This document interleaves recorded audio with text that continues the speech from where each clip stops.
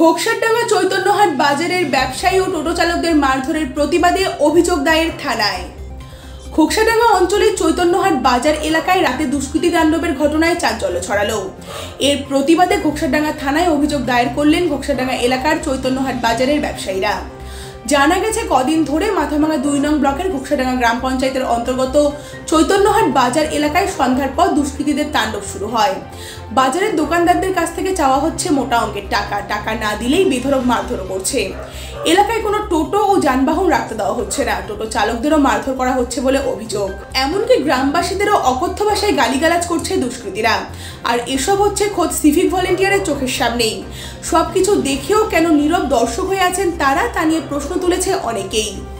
চৈতন্যহাট বাজার কমিটির সদস্য রজনী সরকার জানান, আজকে তাদের চৈতন্যহাট এলাকার সমস্ত ব্যবসায়ী ও গ্রামবাসীরা মিলে থানায় একটি লিখিত অভিযোগ দায়ের করা হয়। সন্ধ্যার পর দুষ্কৃতীরা বাজারের দোকানে লুটপাট চালাচ্ছে, এমনকি রাস্তার উপর দাঁড়িয়ে থাকা টোটো চালকদের উপরও হামলা করছে। তাদের বিরুদ্ধে আইনগত উপযুক্ত ব্যবস্থা দাবি জানিয়েছেন তারা। এই বিষয়ে ঘোকসাডাঙ্গা গ্রাম পঞ্চায়েতের চৈতন্যহাট এলাকার পঞ্চায়েত অধীর সরকার বলেন অভিযোগটা সত্যি।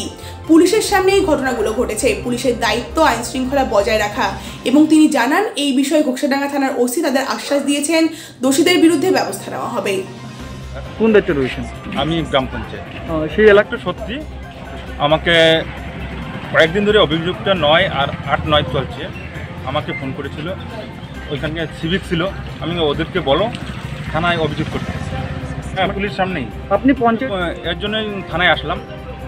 একটা এলাকার সর্ব জনসাধারণের বা এলাকার ব্যবসায়ী বা চৈতন্যহাট ব্যবসায়ী ওরা সবাই আমাকে বলল আমি ঠিক আছে চলেন থানায় যাই।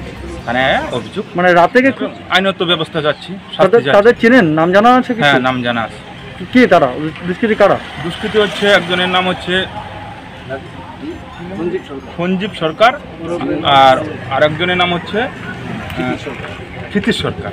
যে দেখেন এখানে পুলিশের দায়িত্ব আইন শৃঙ্খলা বজায় রাখার জন্য কিন্তু সেটুকু আমরা পাচ্ছি না।